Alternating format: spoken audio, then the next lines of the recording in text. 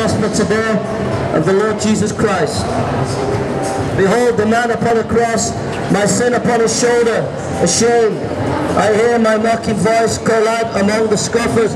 It was my sin that held him there until it was accomplished. His dying breath has brought me life. I know that it is finished. I will not boast in anything, no gifts, no power, no wisdom, but I will boast in Jesus Christ, his death and resurrection.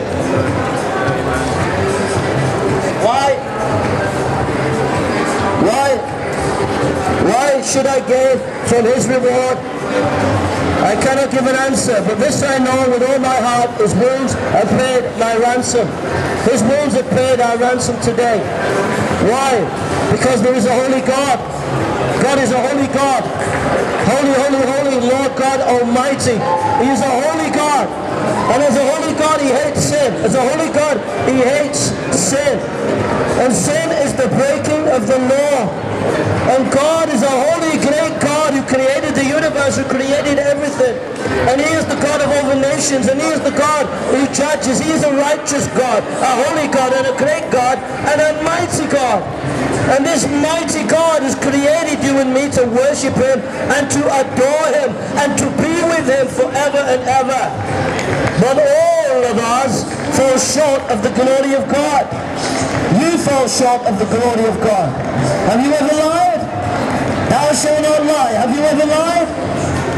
Have you ever lied? The Bible says, thou shalt not lie. Have you ever lied? What does that make you if you've lied? Thou shalt not lie. Have you ever lied? What does that make you if you've lied? And how will you escape the fiery judgment of God upon liars? Thou shalt not lie. Have you ever lied?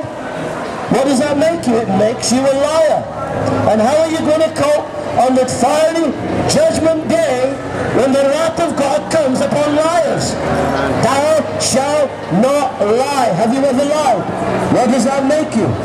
It makes you a liar. How are you going to escape the fiery wrath of God upon liars? How are you going to escape the wrath of God upon